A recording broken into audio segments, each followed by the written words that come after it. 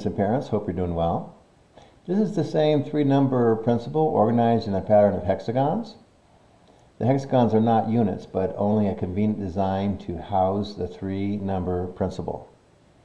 This is for multiplication and addition.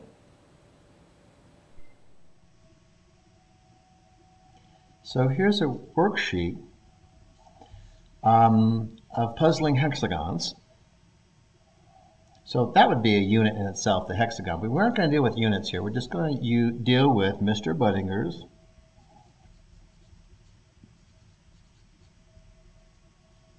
three-number principle.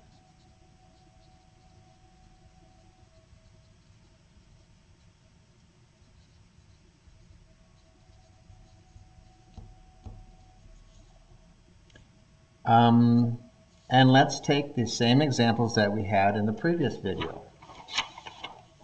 The previous video uh, notes we did 12. So let's go ahead and take 12.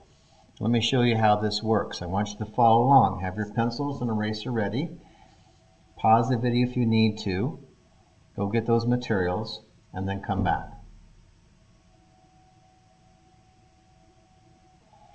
In puzzling hexagons, we're going to start with um, multiplication.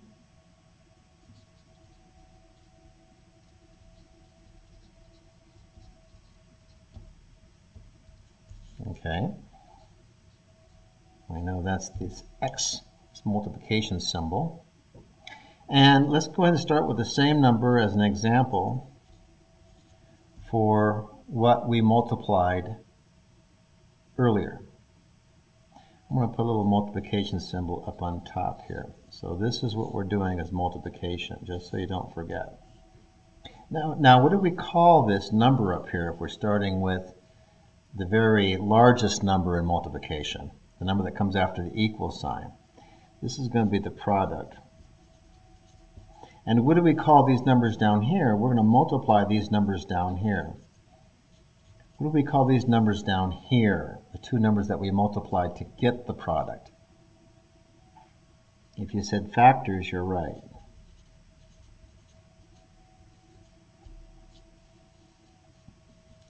Now, what kind of examples did we come up with? Now remember, we can't, there's no cumulative property.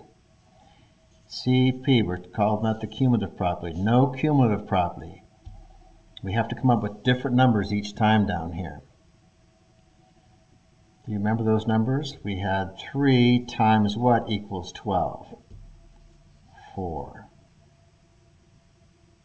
And then here we had what? 2 times 6 equals 12. So these two numbers multiplied together equal that number up there. And then we had one more left.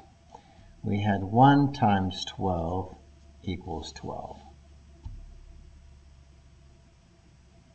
So this is how you use these puzzling hexagons, is these two numbers down here and the operation you're using has to equal the number up here. They have to be balanced. Okay, let's do the addition.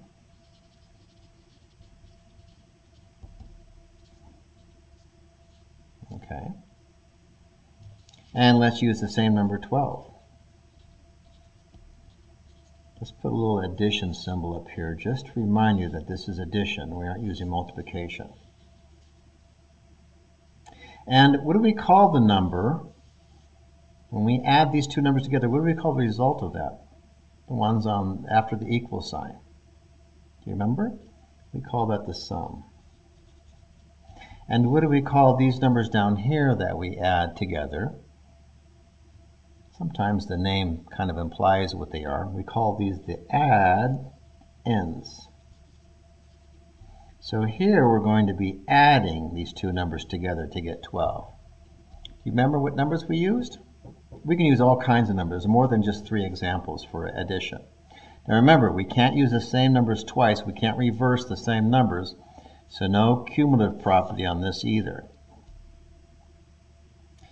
Um, let's take um, let's take seven and let's add five to that. Five plus seven equals twelve. What other number can we use here? Let's go up the same way we did last time. 8 plus, now this number, if this number goes up, this number is going to have to come down. 8 plus 4 equals 12. And then we had 9, so we're getting larger each time with this first addend. And the second addend has to be one smaller, uh, let's say 3 equals 12. So we have an example of multiplication using our puzzling hexagons, an example of addition using our puzzling hexagons. So here's your sample.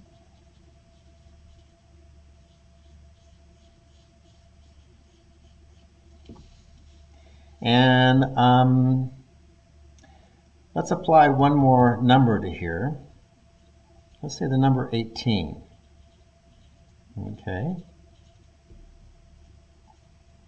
Now we're starting out with the largest number and coming up with examples down here of what we should either factors or prod or addends. So here let's use multiplication again. And here we're going to use addition. And remember, no cumulative property for either one of these. Go ahead and tell me what this number name is and these numbers down here and tell me what this number is called when we use addition and these numbers that get us those um, the results of adding together. You can go ahead and put the multiplication signs in here and come up with some numbers that you think will work for this example.